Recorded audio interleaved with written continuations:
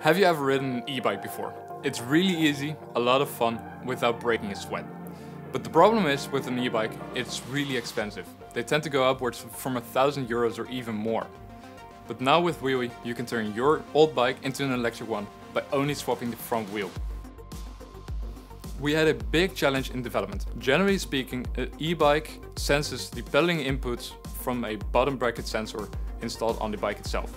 But Wheel-E needs to figure it out on its own and we did it. What makes Wheel-E extremely unique is its software. The software adapts to you. The only thing that you have to do is just a really small test ride in order to calibrate all the systems. From that point on, complicated algorithms will start calculating the required power output to make your ride as comfortable as possible. Wheel-E also has Bluetooth and GPS connectivity. The GPS is being used amongst other things for theft protection. The Bluetooth connectivity is being used to constantly update the highly complicated algorithms in order to make your riding experience even better than it already was. We've been developing for more than two years now in order to make it as simple and as easy to use and install.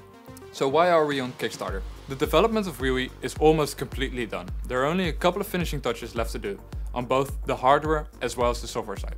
And from that point on, we can start production. So by backing us, you'll help us make it possible to finish Wheel-E so that you can experience Wheel-E on your own bike.